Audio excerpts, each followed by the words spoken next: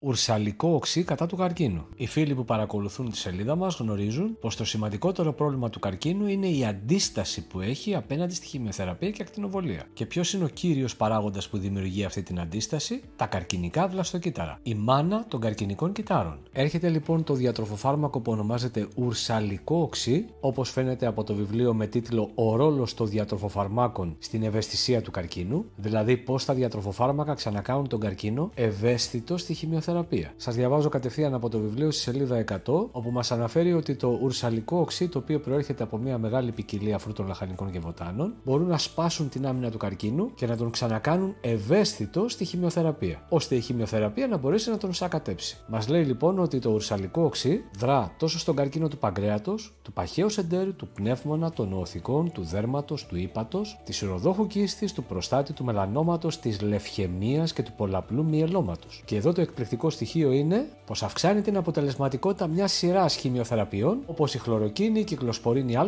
και η πασίγνωστη συσπλατίνη. Και αυτό είναι μόνο ένα από τα 120 διατροφοφάρμακα που χρησιμοποιούμε στα προγράμματα κατά του καρκίνου. Γιατί είμαστε πλέον στην εποχή της διατροφογενετικής. Έχουμε τη γνώση, έχεις την επιλογή. Για περισσότερες πληροφορίες μπορείτε να καλείτε καθημερινά στα αναγραφόμενα τηλέφωνα 10 με 8 και μισή. Καλή συνέχεια σε όλους.